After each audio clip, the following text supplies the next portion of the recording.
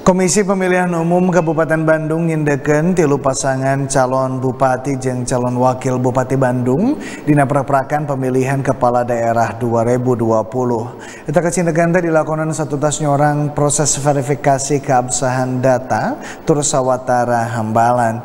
Ari hambalan anu KPU bakal ngundi nomor urut pasangan calon.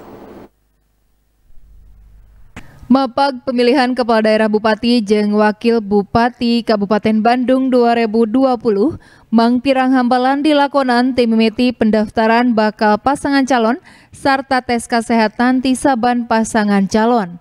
Dumasar karena hasil rapat pleno, KPU Kabupaten Bandung nyendeken tilu pasangan calon anu bakal makalangan dina pemilihan kepala daerah bupati jeng wakil bupati Kabupaten Bandung periode 2020 2020 genep. Eta pasangan calon anu tilu teh nyata Dadang Supriyatna Syahrul Gunawan, Yena Iskandar Maksum Atep, serta Nia Agustina Usman Sayogi. KPU menetapkan bakal pasangan calon HM Dadang Supriyatna SIP MSI dan. Syahrul Gunawan SE yang didukung oleh PKB 6 kursi, Nasdem 5 kursi, Demokrat 5 kursi, dan PKS 10 kursi dengan jumlah total kursi 26 kursi dinyatakan memenuhi syarat.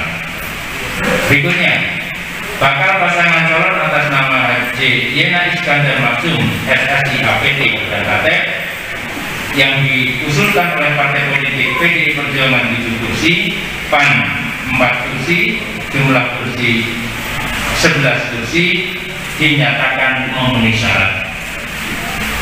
Yang berikutnya Haji Kurnia, Kurnia Agustina dan daerah Usman Sayyidi JBMSI yang diusulkan oleh Golkar 11 kursi, Gerindra 7 kursi, jumlah kursi 18 dinyatakan memenuhi syarat.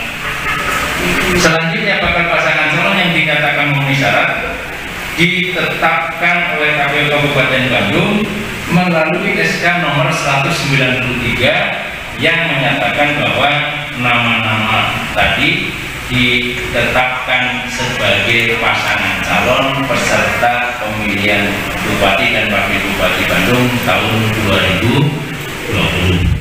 Rarancangna satu tas prak-prakan nyendeken pasangan calon Poe Kemis 24 September 2020, KPU Kabupaten Bandung bakal nyorang prak-prakan ngundi nomor urut pasangan calon.